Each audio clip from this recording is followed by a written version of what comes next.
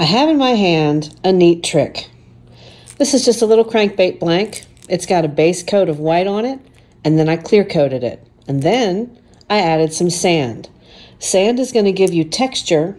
If you can see across this bait, you can see that it's got plenty of texture on it. Now, you can give that crawfish the texture that it looks like when it's in the water. Just a neat little trick.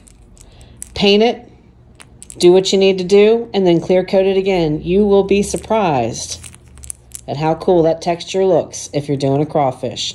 Just a little food for thought, some food for fish. Cheers, and happy casting from Jekyll Baits.